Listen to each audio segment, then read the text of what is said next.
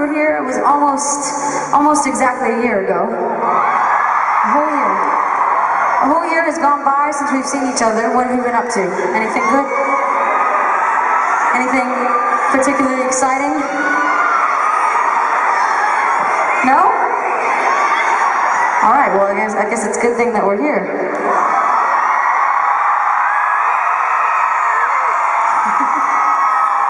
Let me tell you something.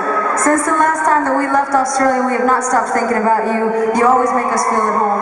It, feels so good to be back. Thank you. And uh, friends, friends here tonight, for those that do not know, I would like to be the first to tell you, and don't you forget it. We